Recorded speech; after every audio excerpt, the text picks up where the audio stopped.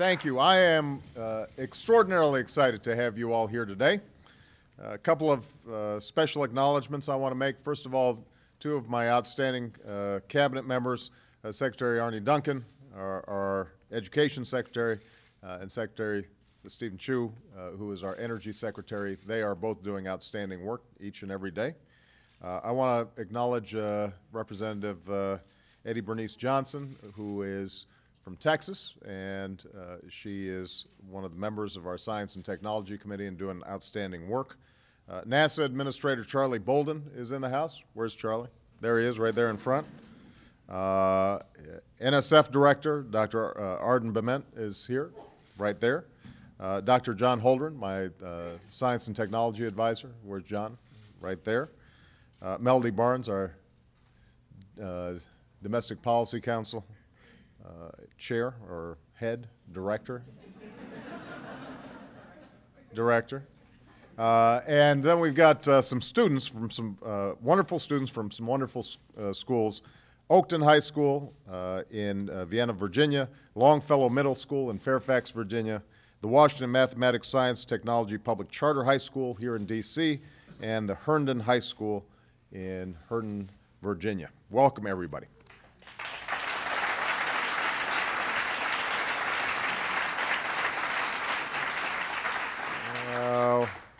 Uh, the, now, the students from Oakton High School uh, are going to be demonstrating the Cougar Cannon, designed to scoop up and toss moon rocks. Uh, I am eager to see what they do uh, for two reasons. As presidents, I believe that robotics can inspire young people to pursue science and engineering, and uh, I also want to keep uh, an eye on those robots in case they try anything. It, it's an honor to be here and to be joined by Sally Ride, the first American woman in space. Sally.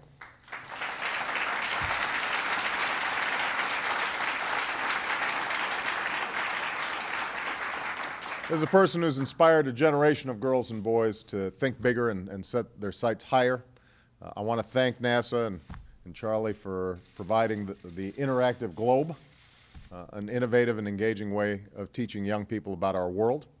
Uh, welcome Mythbusters from Discovery Channel. Where are they? There they are.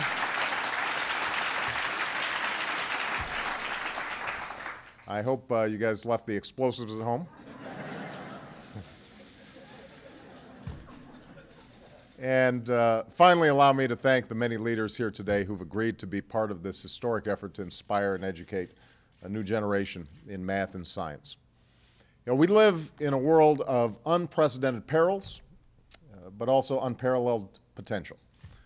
Our medical system holds the promise of unlocking new cures, but it's attached to a healthcare system that's bankrupting families and businesses and our government. Uh, the sources of energy that power our economy are also endangering our planet. We confront threats to our security that seek to exploit the very openness that is the Uh, is essential to our prosperity.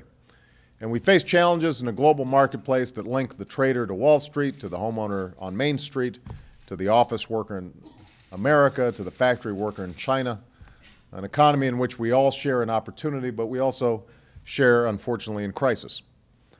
It's The key to meeting these challenges, to improving our health and well-being, to harnessing clean energy, to protecting our security, and succeeding in the global economy will be reaffirming and strengthening America's role as the world's engine of scientific discovery and technological innovation.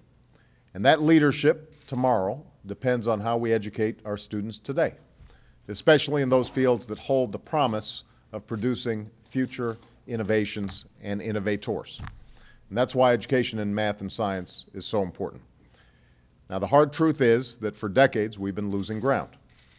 One assessment shows American 15-year-olds now rank 21st in science and 25th in math when compared to their peers around the world. And this isn't news. We've seen worrying statistics like this for years. Yet, time and again, we've let partisan and petty bickering stand in the way of progress. And time and again, as a nation, we've let our children down. So I'm here, and you are here, because we all believe that we can't allow division and indifference to imperil our position in the world. It's time for all of us in Washington, and across America to take responsibility for our future. That's why I'm committed to moving our country from the middle to the top of the pack in science and math education over the next decade. To meet this goal, the Recovery Act included the largest investment in education in history, while preventing hundreds of thousands of educators from being fired because of state budget shortfalls. Under the outstanding leadership of Arne Duncan, we've launched a $4 billion Race to the Top Fund, one of the largest investments in education reform in history. And through the Race to the Top, states won't just be receiving funding, they'll have to compete for funding. And in this competition, producing the most innovative programs in math and science will be an advantage. In addition, we are challenging states to improve achievement by raising standards, using data to better inform decisions, and taking new approaches to turn around struggling schools.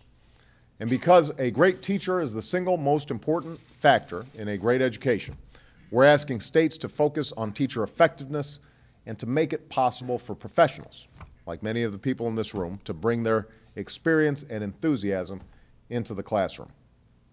But you are here because you know that the success we seek is not going to be attained by government alone. It depends on the dedication of students and parents and the commitment of private citizens, organizations, and companies. It depends on all of us. And that's why back in April at the National Academy of Sciences, I issued a challenge to encourage folks to think of new and creative ways of engaging young people in science and engineering. And we are here because the leaders in this room answered that call to action. Today, we are launching the Educate to Innovate campaign, a nationwide effort to help reach the goal this administration has set, moving to the top in science and math education in the next decade. We've got leaders from private companies and universities, foundations and nonprofits, and organizations representing millions of scientists, engineers, and teachers from across America. The initial commitment of the private sector to this campaign is more than $260 million, and we only expect the campaign to grow. Business leaders from Intel, Xerox, Kodak, and Time Warner Cable are teaming up with Sally Ride and the Bill and Melinda Gates Foundation as well as the Carnegie Corporation, to find and replicate successful science, math, and technology programs all across America. Sesame Street has begun a two-year initiative to teach young kids about math and science. And Discovery Communications is going to deliver interactive science content to 60,000 schools, reaching 35 million students. These efforts extend beyond the classroom. Time Warner Cable is joining with the Coalition for Science After School and FIRST Robotics, the program created by inventor Dean Kamen, uh, which gave us the Cougar Cannon uh, to connect 1 million students with fun after-school activities like robotics competitions. The MacArthur Foundation and industry leaders like Sony are launching a nationwide challenge to design compelling, freely available science-related video games. And organizations representing teachers, scientists, mathematicians, and engineers joined by volunteers in the community, are participating in a grassroots effort called National Lab Day to reach 10 million young people with hands-on learning. Students will launch rockets, construct miniature windmills, and get their hands dirty. They'll have the chance to build and create, and maybe destroy just a little bit, to see the promise of being the makers of things and not just the consumers of things. The administration is participating as well. We've already had a number of science-focused events with young people at the White House, including Astronomy Night a few weeks ago. The National Science Foundation and the Department of Energy, under the leadership of a terrific scientist, Steven Chu, have launched an uh, initiative to inspire tens of thousands of students to pursue careers in clean energy. And today I'm announcing that we're going to have an annual science fair at the White House with the winners of national competitions in science and technology. You know, if you win the NCAA championships, you come to the White House. Well, if you're a young person and you've produced the best experiment or design, the best hardware or software, you ought to be recognized for that achievement too. Scientists and engineers ought to stand side by side with athletes and entertainers as role models. And here at the White House, we're going to lead by example. We're going to show young people how cool science can be. Through these efforts, we're going to expand the scope and scale of science and math education all across America. And we're going to expand opportunities for all our young people, including women and minorities who too often have been under, underrepresented in scientific and technological fields, but who are no less capable of succeeding in math and science and pursuing careers that will help improve our lives and grow our economy. I also want to note that this is only the beginning. We're going to challenge the private sector to partner with community colleges, for example, to help train the workers of today for the jobs of tomorrow, even as we make college more affordable, so that by 2020, America once again leads the world in producing college graduates. Now, I have to say to the young people who are here, we can't let students off the hook. In the end, the success of this campaign depends on them. But I believe strongly that America's young people will rise to the challenge if given the opportunity and given a little bit of a push. We've got to work together to create these opportunities because our future depends on it. Uh, and, and, I just want to mention uh, the importance not only of students but also of parents. You know, I was uh, in Asia, I think many of you are aware, for a week. And uh, I was having lunch with the president of South Korea, President Lee. And I was interested in education policy. They've grown enormously over the last uh, 40 years. And I asked them,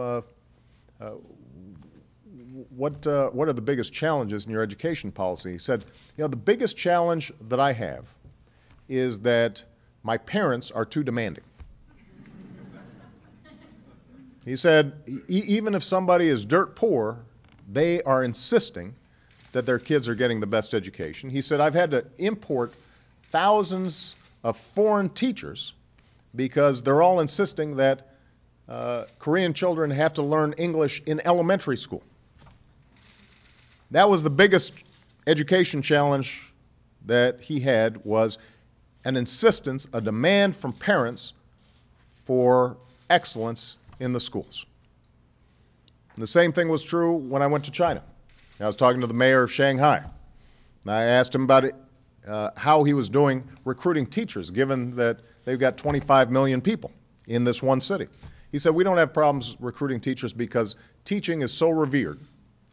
And the pay scales for teachers are actually comparable to doctors and other professionals. That gives you a sense of what's happening around the world.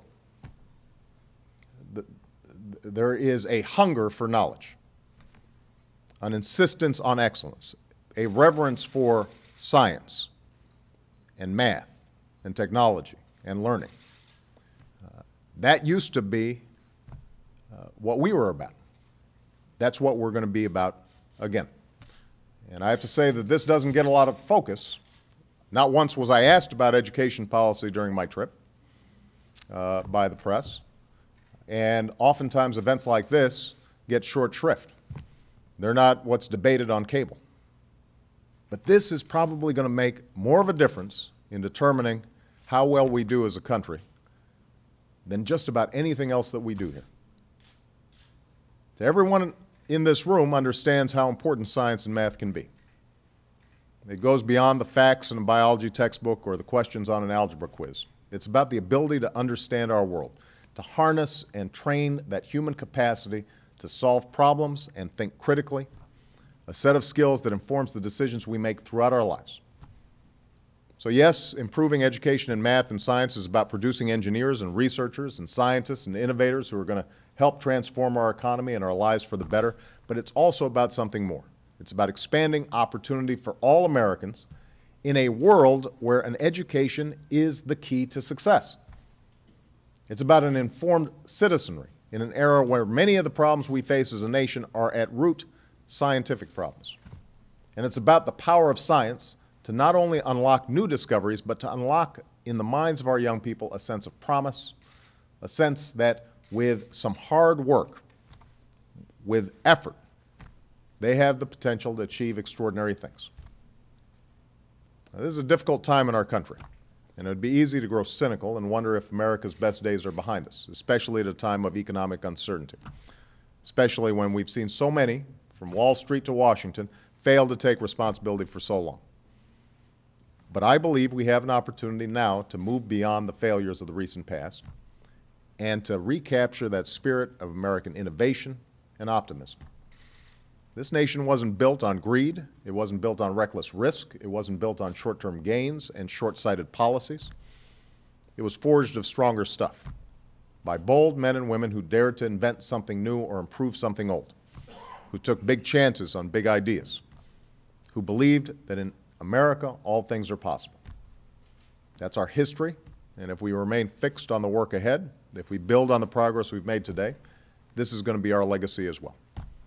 So, uh, with that, just as proof of the extraordinary promise of American young people, I'd like to invite Stephen Harris and Brian Hortolano from Oakton High, High School to uh, come up here and demonstrate what their team has built. And it's flashing so far. I don't see it whirling. Uh, where are they? Give them a big round of applause.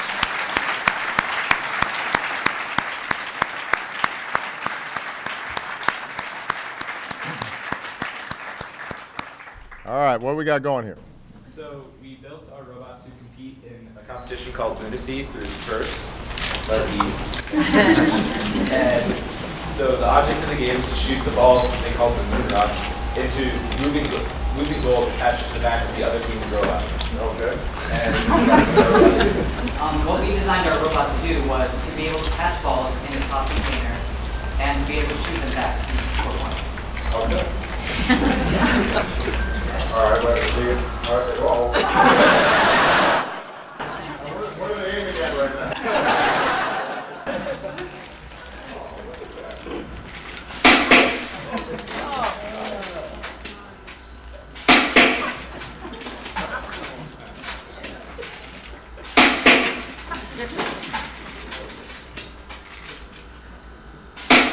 How long is it taking to build this? we had six weeks. Six weeks, huh?